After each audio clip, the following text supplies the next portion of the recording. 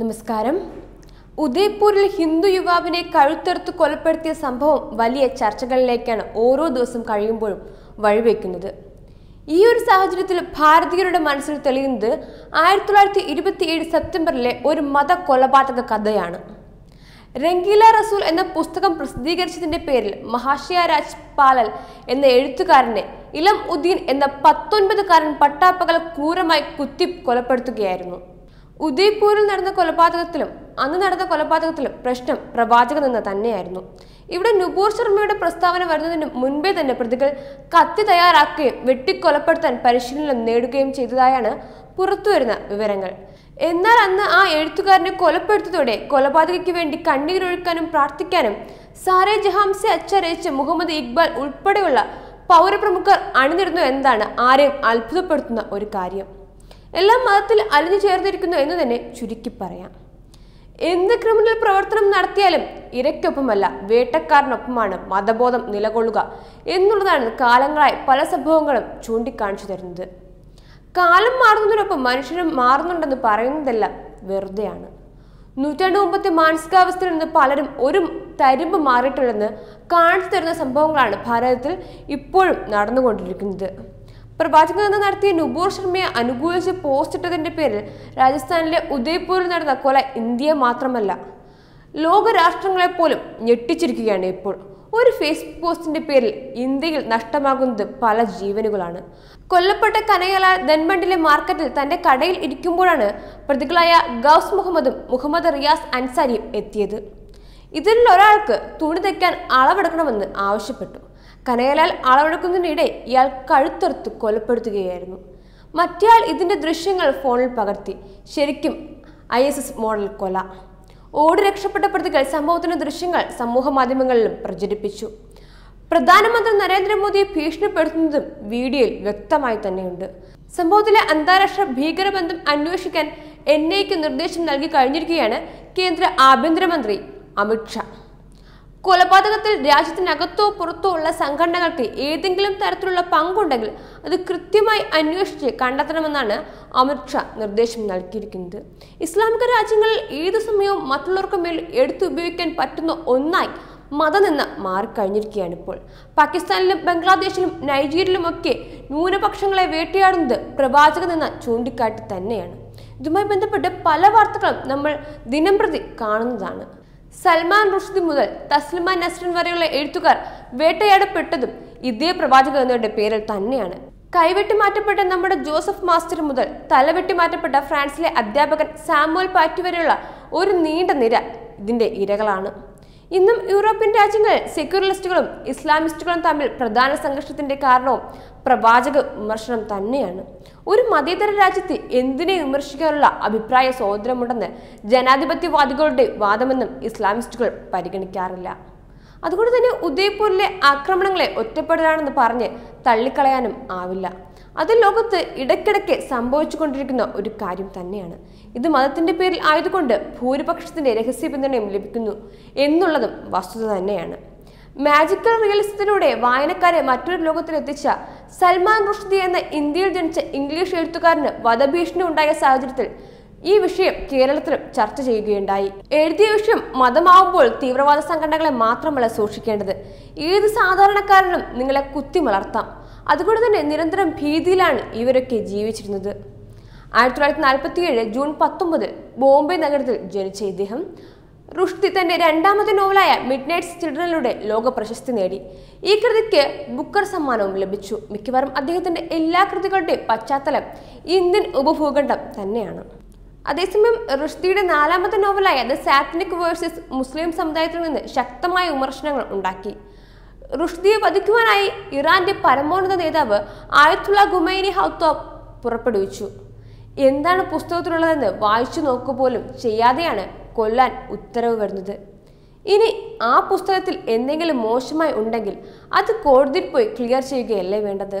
പക്ഷേ ഇത്തരം ജനാധിപത്യ മര്യാദകൾ ഒന്നും അന്നും ഇന്നും പൊളിറ്റിക്കൽ ഇസ്ലാമിന് ബാധകമല്ല. തന്റെ പുസ്തകം ആരെയും തേജോവധം ചെയ്യുന്നില്ലെന്നും താനൊരു തെറ്റും ചെയ്തിട്ടില്ലെന്നുമാണ് റുഷ്ദി പറയുന്നത്. പക്ഷേ വധഭീഷണി കാരണം അദ്ദേഹം വർഷങ്ങളോളം ഒളിവിൽ താമസിച്ചു. ഈ കാലയളവിൽ വളരെ വിരളമായി മാത്രമേ പൊതുവേദിയിൽ പ്രത്യക്ഷപ്പെട്ടുള്ളൂ. പക്ഷേ അദ്ദേഹം എഴുത്തിൽ സജീവമായി. മതപീഡനം നേരിടുന്നവർക്കുള്ള യൂറോപ്പിന്റെ പരിഗണനയാണ് റുഷ്ദിക്ക് തുണയായത്. ഇന്നും ഇന്ത്യയിലെ ഇസ്ലാമിക തീവ്രവാദികളുടെ അടക്കം ഹിറ്റ്ലിസ്റ്റിൽ നമ്പർ വൺ ആണ് ഈ നോവലിസ്റ്റ്. സമ്മാനമാണ് ബംഗ്ലാദേശ് എഴുത്തുകാരെ തസ്ലിമ നസ്രീന്റെ അനുഭവം. ലജ്ജ എന്ന പേരുള്ള ഒരു നോവൽ എഴുതിപ്പോയതാണ് അവരുടെ പേരിലുള്ള കുറ്റം. വധഭീഷണിയെ തുടർന്ന് ആയിരത്തി തൊള്ളായിരത്തി തൊണ്ണൂറ്റി നാലിലാണ് അവർ ബംഗ്ലാദേശ് വിടുന്നത്. സ്വീഡിഷ് പൗരത്വമുള്ള അവർ ഇരുപത് വർഷമായി യു എസിലും യൂറോപ്പിലും ഇന്ത്യയിലുമായാണ് കഴിഞ്ഞിരുന്നത്. തസ്ലിമയ്ക്ക് രണ്ടായിരത്തി നാലിൽ ഇന്ത്യ താമസം അനുവദിച്ചിരുന്നുവെങ്കിലും ഇസ്ലാമികളുടെ സമ്മർദ്ദം മൂലം സർക്കാർ നിലപാട് മാറ്റുകയായിരുന്നു. രണ്ടായിരത്തി പതിനഞ്ചിൽ അവർ അമേരിക്കയിലേക്ക് താമസം മാറ്റുകയുണ്ടായി അൽഖ്വയ്ദ ബന്ധമുള്ള ബംഗ്ലാദേശിലെ മതമൗലിക ശക്തികളുടെ ഭീഷണി കണക്കിലെടുത്തായിരുന്നു ഇത്.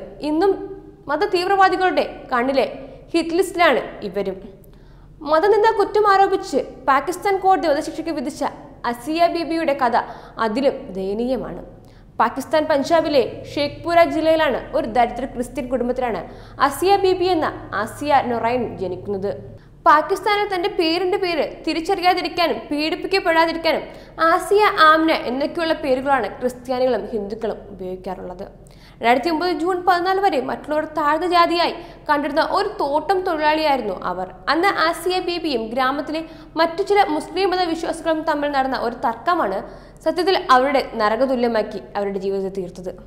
ജോലിക്കിടയിൽ കുറച്ച് വെള്ളം കുടിക്കാൻ ശ്രമിച്ചതിലൂടെയാണ് പിന്നീട് തൂക്കുകയർ വരെ ലഭിച്ച അന്നത്തെ ആ തർക്കം ഉടലെടുക്കുന്നത്. മുസ്ലിങ്ങൾ വെള്ളം കുടിച്ചിരുന്ന അതേ പാത്രത്തിൽ തന്നെ ക്രിസ്ത്യാനിയായ അസിയയും വെള്ളം കുടിക്കാൻ ശ്രമിച്ചു എന്നുള്ളതായിരുന്നു തർക്കത്തിന് കാരണം. തർക്കം മൂർച്ചതോടുകൂടി കുറ്റപ്പെടുത്തലുകളും ആരോപണങ്ങളും എല്ലാം പൂർണമായും മതപരമായി മാറി. അസിയയും കുടുംബം മാത്രമായിരുന്നു ആ ഗ്രാമത്തിലുണ്ടായിരുന്ന ഏക ക്രിസ്ത്യൻ കുടുംബം. പണ്ടും കൂടെയുള്ളവരുടെ ആവശ്യമായിരുന്നു ഇവരുടെ മതം മാറ്റം. ഈ ആവശ്യം ഈ തർക്കത്തിലും ഉന്നയിക്കപ്പെട്ടു. അസിയയുടെ അന്നവിടെ കൂടി നിന്നവർ മതം മാറാനും ആവശ്യപ്പെട്ടു. പക്ഷേ അസിയയുടെ വാദം ഇങ്ങനെയായിരുന്നു.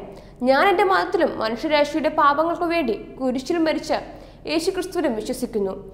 മനുഷ്യരാശിയെ രക്ഷിക്കാൻ നിങ്ങളുടെ പ്രവാചകൻ മുഹമ്മദ് നബിക്ക് എന്താണ് ചെയ്തത്?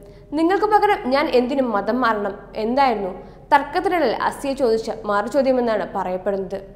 അത് പ്രവാചകൻ നിന്ന് വലിയ കുറ്റമായി പോലീസ് എത്തി അറസ്റ്റ് ചെയ്യപ്പെടും വരെ അസിയും കുടുംബവും നാട്ടുകാരുടെ മർദ്ദന മുറകൾക്ക് വിധേയക്കപ്പെട്ടു. പാകിസ്ഥാൻ പീനൽ കോഡിലെ സെക്ഷൻ ഇരുന്നൂറ്റി തൊണ്ണൂറ്റി അഞ്ച് ഈ ചാർത്തിയാണ് അസിയെ പോലീസ് അറസ്റ്റ് ചെയ്യുന്നത്.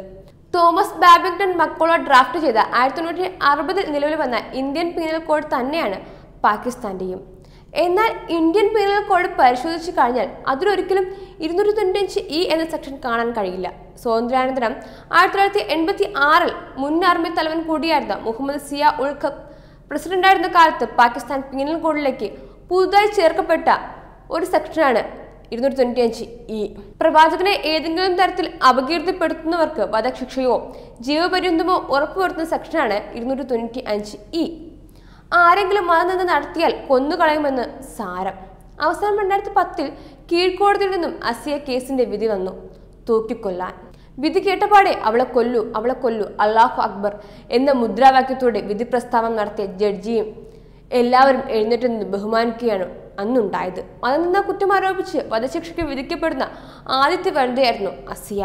അങ്ങനെയാണ് ഈ കേസ് ലോക പ്രസിദ്ധമാകുന്നതും വിദേശ രാജ്യങ്ങളും സന്നദ്ധ സംഘടനകളും ഇടപെടുന്നതും.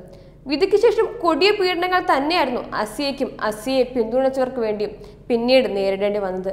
കേവലം ഒരു പട്ടിയെപ്പോലെ കഴുത്തിൽ ചങ്ങലയിട്ടുകൊണ്ട് ജനലുകൾ പോലുമില്ലാത്ത ഒരു ഏകാന്ത സെല്ലിലായിരുന്നു അസിയെ പാർപ്പിച്ചിരുന്നത്.